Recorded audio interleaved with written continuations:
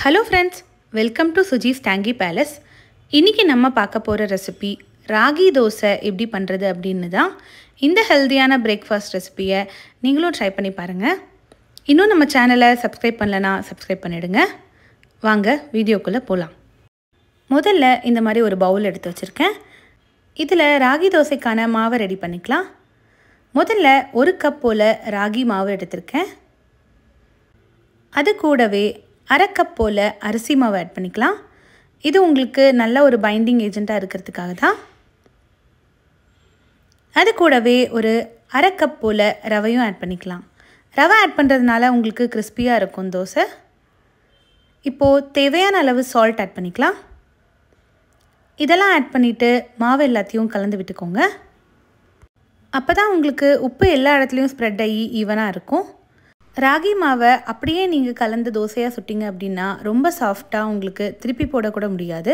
அதனால தான் இந்த அரிசி மாவு ரவை எல்லாம் நம்ம ஆட் பண்ணியிருக்கோம். ஸோ உங்களுக்கு கொஞ்சம் கிறிஸ்பியாகவும் உங்களுக்கு திருப்பி போடுறதுக்கு ஈஸியாகவும் இருக்கும். இப்போ இதில் ஒரு பச்சை மிளகாவை சின்ன சின்னதாக கட் பண்ணி ஆட் பண்ணிக்கிறேன். அது கூடவே ஒரு அரை டீஸ்பூன் போல் சின்னதாக கட் பண்ண இஞ்சியும் ஆட் பண்ணிக்கலாம். பொடுசாக கட் பண்ணி கொஞ்சம் கொத்தமல்லி கருவேப்பிலையும் இதில் ஆட் பண்ணிக்கலாம். இது கூடவே ஒரு அரை டீஸ்பூன் போல் சீரகம் ஆட் பண்ணிக்கலாம். இப்போ இதை நல்லா கலந்து விட்டுக்கலாம். நான் இன்றைக்கி இந்த மாதிரி விஸ்கரை யூஸ் பண்ணி நல்லா கலந்து விட்டுக்க போகிறேன் இப்போ இதை நல்லா கலந்து விட்டதுக்கப்புறமா இதில் தேவையான அளவு தண்ணி ஆட் பண்ணிக்கலாம். எந்த கப்பில் ராகி மாவு எடுத்தோமோ அதே கப்பில் தண்ணி அளந்து நம்ம ஊற்றிக்கலாம் இப்போது ஒரு கப் போல் தண்ணி ஆட் பண்ணிக்கிறேன். தண்ணியை கொஞ்சம் கொஞ்சமாக ஆட் பண்ணி கலந்து விடுங்க. அப்போ தான் உங்களுக்கு ஈஸியாக கலக்க முடியும். இப்போ இதில் இன்னொரு கப் தண்ணி ஆட் பண்ணி கலந்துக்கலாம். எந்த கட்டியும் இல்லாமல் நல்லா கலந்து விட்டுக்கோங்க.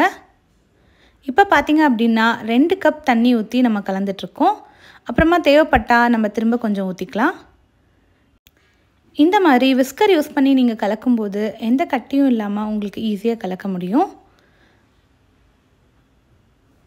இப்போ இதில் இன்னொரு கப் தண்ணி ஆட் பண்ணிக்கிறேன். இது மூணாவது கப் தண்ணி. டோட்டலாக இது வரைக்கும் நம்ம மூணு கப் தண்ணி ஆட் பண்ணியிருக்கோம்.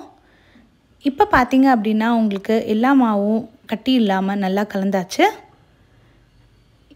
இப்போ இதை நல்லா கலந்து விட்டதுக்கப்புறமா பார்த்தீங்க அப்படின்னா இந்த மாதிரி தான் இருக்குது பாருங்கள் உங்களுக்கு இந்த அளவுக்கு தண்ணியாக இருந்தால் தான் தோசை நல்லா முருகலாக உங்களுக்கு கிடைக்கும் கிறிஸ்பியாக இருக்கும்.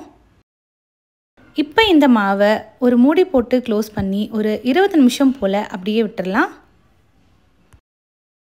இப்போது இருபது நிமிஷம் கழித்து நம்ம ஓப்பன் பண்ணி பார்க்கலாம். இப்போ பார்த்தீங்க அப்படின்னா மாவு எல்லாமே அடியில் போயிட்டு தண்ணி மேலே இருக்கும். ஸோ கரண்டி போட்டு நல்லா கலந்து விட்டுக்கோங்க. கலந்து விட்டதுக்கப்புறமா உங்களுக்கு கொஞ்சம் கெட்டியான மாதிரி தெரிஞ்சால் இதில் இன்னும் கொஞ்சம் தண்ணி ஆட் பண்ணி நீங்கள் தேவையான அளவு கன்சிஸ்டன்சிக்கு கொண்டு வந்துடலாம் இப்போ பார்த்தீங்க அப்படின்னா அடியில் இருந்த மாவு எல்லாத்தையும் நான் இந்த மாதிரி கலந்து விட்டுட்டேன். இதில் இப்போது ஒரு பெரிய வெங்காயத்தை சின்ன சின்னதாக சாப் பண்ணி எடுத்திருக்கேன். அதை ஆட் பண்ணிக்கிறேன். ஆட் பண்ணிவிட்டு நல்லா கலந்து விட்டுக்கோங்க.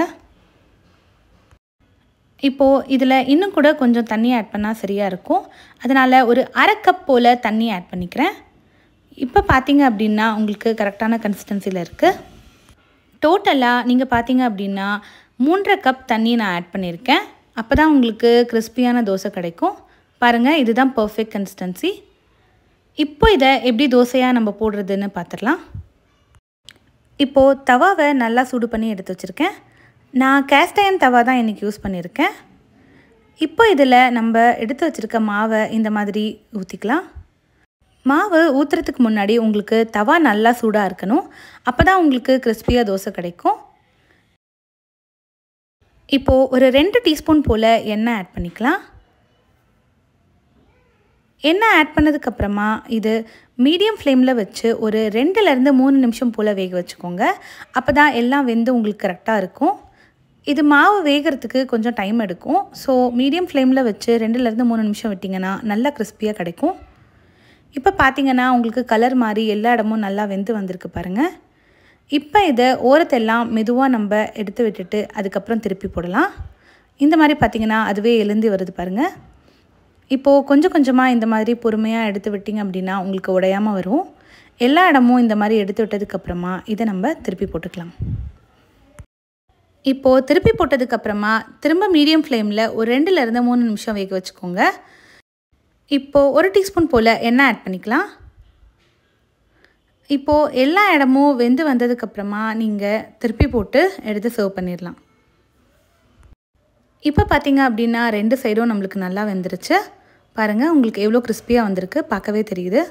அவ்வளோதான் இதை நம்ம இப்போது சர்விங் பிளேட்க்கு மாற்றிடலாம் இப்போ நம்மளோட தோசை எவ்வளோ முருகலாக வந்திருக்கு பாருங்கள் உங்களுக்கு தேவைப்பட்டால் இதை நீங்கள் சட்னியோட சாப்பிட்லாம்.